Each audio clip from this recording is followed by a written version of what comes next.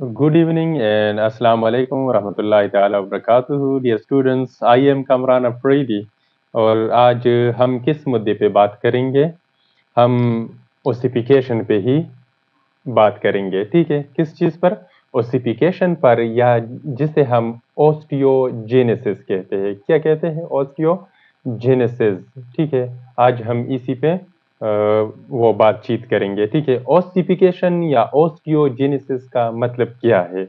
Osteo mean bone and genesis mean development मतलब ये है कि बोन किस तरह से डेवलप हो जाती है, ठीक है? ड्यूरिंग एंट्रायूटेराइन लाइफ ठीक है? पेटस में पहले ये बोन्स नहीं होते, लेकिन फिर ये किस तरह से डेवलप होती है? इस डेवलपमेंट के प्रोसेस को ऑस्टियोजेनेसिस या उसे ओसिफिकेशन कहते हैं, ठीक है? और ये ओसिफिकेशन या ऑस्टियोजेनेसिस दो तरीकों से होती है। कितने तरीकों से? दो से। एक को कहते हैं एंडोकॉन्ड्रियल ओसिफिकेशन और दूसरे को कहते हैं एंट्रा मेम्ब्रेनियस ओसिफिकेशन ठीक है? आज हम इस वीडियो में हमारा मेन पर्पस किस चीज़ पर होगा? एंडोकॉन्ड्रियल ओसिफिकेशन पे, ठीक है? फिर उसके बाद हम नेक्स्ट वीडियो में एंट्रा मेम्ब्रेनियस कहेंगे कि एंट्रा मेम्ब्रेनियस ओसिफिकेशन किस तरह से होती है। आइए इससे पहले भी अगर मैं एंडोकॉन्ड्रियल ओसिफिकेशन को स्टार्ट करूँ तो ये हमारे साथ कब स्टार्ट होती है? After eight week of gestation pregnancy के आठवें वीक के बाद, ठीक है? जिस्टेशन के आठवें वीक बाद ये ओसिफिकेशन स्टार्ट होती है, ठीक है? और इसकी एंडिंग होती है, कब ये ख़त्म होती है? ये होती है 21 ईयर से लेकर 25 ईयर तक। ये कब? 18 week sorry 8 week of gestation से लेकर मतलब इंट्रायूटराइन लाइफ में टिल 21 से लेकर 25 ईयर्स तक इस पे ये ख़त्म होती है। इसका मतलब ये है कि बून ग्रोथ मतलब जो हाइट होती है एक इंडिविजुअल की वो सिर्फ़ इस एज तक उसकी हाइट इंक्रीज होती है उसके बाद बिल्कुल नहीं। तो ये थी हमारे साथ इसके बारे में कुछ चीज़ के कब ये हमारे साथ वो स्टार्ट होती है। अभी यहाँ पर अगर हम वो करें नज़र जुड़ाए एंडोकॉन्ड्रियल ओसिफिकेशन पर ठीक है? तो यहाँ पर हमारे साथ क्या है? एंडोमीन एनसाइड ठीक है? Endo mean inside and chondral mean cartilage so इसलिए इस ओसिफिकेशन को हम क्या कह सकते हैं? एंट्रा कार्टिलेजीनियस ओसिफिकेशन ठीक है मतलब एक कार्टिलेज है हमारे साथ ये। और इसके अंदर इसी तरह से ओसिफिकेशन होगी कैल्सिफिकेशन होगी और फिर आखिर में इससे इसी तरह से भून बन जाएगी। ठीक है? और ये भी याद रखिए ये जो ऑनरल ये एंडोकॉन्ड्रल ओसिफिकेशन है, ये हमारे साथ लॉन्ग बोन में, इसी तरह से शॉर्ट बोन इसी इरेगुलर बोन में हमारे साथ एंडोकॉन्ड्रियल ओसिफिकेशन होगी और एंट्रा मेम्ब्रेनियस बोन स्पेशली हमारे साथ कौन से बोन में होगी? प्लेड बोन में ये होगी, ठीक है?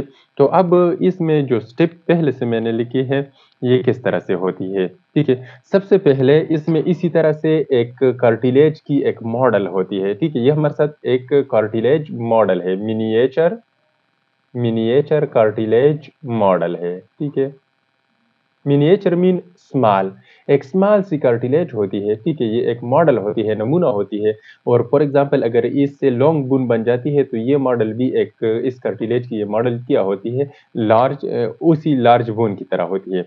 और दूसरी बात ये कि अब ये हमारे साथ क्या हो रही है? ये कार्टिलेज से ये बोन बन रही है, लेकिन ये कार्टिलेज कौन सी होती है? ये हमारे साथ हाइलिन कार्टिलेज होती है। वो कार्टिलेज जिसमें एंडोकॉन्ड्रियल ओसिफिकेशन होती है, उनसे बून की फॉर्मेशन होती है तो ये हमारे साथ हाइलिन कार्टिलेज होती है। अब आगे मजीद जाते हैं, क्या कहते हैं। इसमें ये जो स्टेप्स है डिफरेंट स्टेप उसमें पहले है, उन्होंने, इन्होंने लिखा है कि chondrocyte and large and die as matrix calcify यहाँ पर अगर आप देख लें तो ये हमारे साथ इसमें ये एक तो कार्टिलेज की मॉडल थी। और दूसरी बात ये कि हमारे साथ इसके अंदर क्या है कॉन्ड्रोसाइट्स है। मतलब ये है कि mature cells of the cartilage है। कॉन्ड्रो मीन कार्टिलेज और साइट मीन सेल्स तो ये हमारे साथ मेच्योर सेल्स ऑफ़ कार्टिलेज है। फिर क्या होती है कि ये सेल्स एनलार्ज होती है। साइज़ में ये हमारे साथ ये सारे क्या है, ये एनलार्ज होना शुरू हो जाती है, बड़े हो जाती है। ठीक है? कब ये एनलार्ज होगी एज द मैट्रिक्स कैल्सीफाई जब हमारे साथ ये जो मैट्रिक्स है, इसमें कैल्शियम आयन की डिपोजिशन स्टार्ट होती है। किस चीज़ की? कैल्शियम कैल्सीफाई मीन कैल्शियम जब यहाँ पर अब कैल्शियम आयन क्या होना शुरू हो जाते हैं, ये डिपोजिशन इसकी स्टार्ट होती है। तो पहले ये कि ये हमारे साथ क्या होती है? एनलार्ज होती है। अब ये एनलार्ज हुई और दूसरी बात ये ये फिर क्या होती है? डाई हो जाती है और इसके बाद क्या होती है? कैल्शियम आयन इसमें आना शुरू हो जाती है, इसमें डिपॉजिट होना शुरू हो जाती है, ठीक है? फिर उसके बाद क्या होता है? ये कहता है कि फिर उसके बाद osteoblast covers the shaft of the cartilage अगर आप ये देख ले तो यहाँ से लेकर यहाँ तक ये जो बून में फिर डायापसिस बनाती है, इसको हम शाफ्ट भी कहते हैं।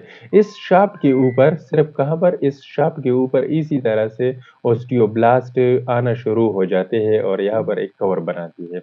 यहाँ पर क्या चीज़, कौन सी चीज़? ओस्टियो ब्लास्ट आना शुरू हो जाती है और यहाँ पर इसकी डिपोजिशन होती है। ठीक है तो osteoblast covers the shaft of the cartilage ये कार्टिलेज की यहाँ से लेकर यहाँ तक शाफ्ट है और इसके ऊपर ये जमा होना शुरू हो जाती है। ठीक है फिर क्या होती है? इसके अलावा blood vessels also penetrate cartilage यहाँ पर पहले अगर हम इसमें देख लें तो यहाँ पर अब ब्लड वेजल्स की फॉर्मेशन भी शुरू होती है, लेकिन अब इस इस स्टेज पर ये पेनेट्रेशन नहीं करती। इस स्टेज पे अगर आप फिर देख लें तो इस स्टेज पे अगर एक तो ये कि हमारे साथ यही ऑस्टियोब्लास्ट होती है, इसके ऊपर। क्या होती है ये कार्टिलेज यहाँ पर ऑस्टियोब्लास्ट जमा होना शुरू हो जाती है। ठीक है, यही ऑस्टियोब्लास्ट और दूसरी बात ये कि इसमें ये जो ब्लड वेजल्स है, ठीक है blood vessels penetrate the cartilage तो ब्लड वेजल्स इसी तरह से किया होना शुरू हो जाती है, ये पेनेट्रेट करती है मतलब इसके अंदर एंट्री करती है, ठीक है। और यहाँ पर अब हम इसको क्या कहते हैं? प्राइमरी ओसिफिकेशन सनर यहाँ पर फिर कैल्शियम आयन की भी डिपोजिशन होती है ठीक है? तो यहाँ पर एक बात तो ये कि यहाँ पर कैल्शियम आयन भी आना शुरू हो जाती है और यहाँ पर कैल्शियम आयन भी शुरू वो आ, आ, आना शुरू हुई।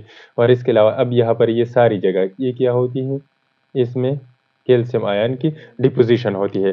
तो अब इस जगह को हम क्या कहेंगे? इसको प्राइमरी ओसिफिकेशन सनर कहेंगे। इसको क्या? प्राइमरी ओसिफिकेशन सनर कहते हैं। प्राइमरी ओसिफिकेशन सनर ठीक है? इसको हम ये कहते हैं। और इसके अलावा यहाँ पर कॉन्ड्रोक्लास्ट और स्पेशली ऑस्टियोब्लास्ट यहाँ पर ये सेल्स क्या करती है? इस ये, यहाँ पर ये जो बीच थी, इसमें ऑस्टियोब्लास्ट ये क्या करती है? इसकी ब्रेकिंग शुरू करना, शुरू करती है, ठीक है? कौन सी सेल्स है? ऑस्टियोक्लास्ट ऑस्टियोक्लास्ट और साथ ही कॉन्ड्रोक्लास्ट ऑस्टियोक्लास्ट एंड कॉन्ड्रोक्लास्ट ये सेल्स क्या करती है? इसको अब काटना शुरू कर देती है और इसके अंदर इसी तरह से एक केविटी बनाती है। ये वो केविटी जो मैंने ग्रीन में बनाई है। तो अब हम इस केविटी को क्या कहते हैं? इसको मेड्यूलरी केविटी कहते हैं। इसको क्या कहते हैं? मेड्यूलरी केविटी इसको हम मेड्यूलरी केविटी कहते हैं, ठीक है? तो ये हमारे साथ इसमें फिर मेड्यूलरी केविटी बी बन गई, ठीक है? तो अब ये क्या कहते हैं इसमें मजीद कि cartilage is replaced by shaft of the bone ये जो पूरा कार्टिलेज थी यहाँ पर, ये अब इसकी जो शाफ्ट है वो बोन की शाफ्ट में चेंज हुई, क्योंकि यहाँ पर ओसिफिकेशन हो रही है। मजीद कैल्शियम आयान और इसके अलावा पासफोरस मिग्नीशियम ये सारी चीज़ें आ रही है और अब यहाँ पर वो भून में कन्वर्ट हो रही है और ऑस्टियोक्लास्ट और कॉन्ड्रोक्लास्ट जो है ना, वो भी यहाँ पर इसकी कटिंग उन्होंने स्टार्ट की है, ठीक है? यहाँ पर इसी तरह से एक मेड्यूलरी केविटी बन गई और यहाँ पर ब्लड वेजल्स भी अब आ चुके हैं। फिर आखिर में क्या होते हैं? कि ये हमारे साथ जो ब्लड वेसल्स है ऑल्सो पेनेट्रेट एपिपसिस तो ये ये यहाँ से लेकर यहाँ तक ये जो शार्प है, इसको हम डयापसिस कहते हैं। क्या कहते हैं? डयापसिस कहते हैं।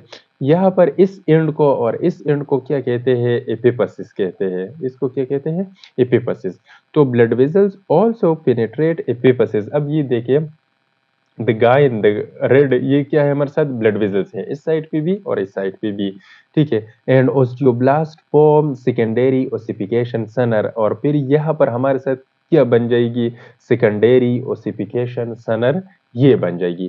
तो यहाँ पर ये क्या थी? प्राइमरी ओसिफिकेशन सनर थी। और अब यहाँ पर ये क्या है? सेकेंडरी ओसिफिकेशन सनर है, ठीक है? और यहाँ पर प्राइमरी थी।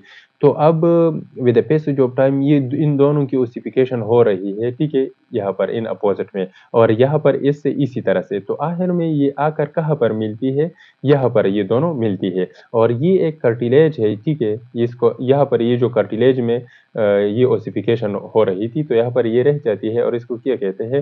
एपिपीजियल कार्टिलेज, जो कि बाद में हमारे साथ किस चीज़ में कन्वर्ट होती है? एपिपीजियल लाइन में। ठीक है? तो ये थी हमारे साथ सेकेंडरी ओसिफिकेशन सनर जो कि एक प्राइमरी ओसिफिकेशन के साथ यहाँ पर अडल्टहुड में क्या हुई फ्यूज्ड हुई, ठीक है? और इसी तरह से ये जगह भी बून में कन्वर्ट होती है और ये भी, और इसके अलावा ये तो पहले ही से प्राइमरी ओसिफिकेशन सनर से बन गई।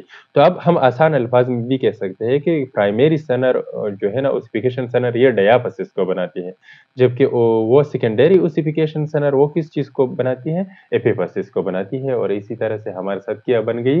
ये एक लॉन्ग बून बन गई, ठीक है? तो ये थी हमारे साथ डियर स्टूडेंट्स आज की वीडियो में एंड्रोकॉन्ड्रल ओसिफिकेशन इंशाल्लाह हम फिर दूसरे वीडियो में about the intra membranous ossification वो हम उसके बारे में जानकारी लेंगे। Thank you so much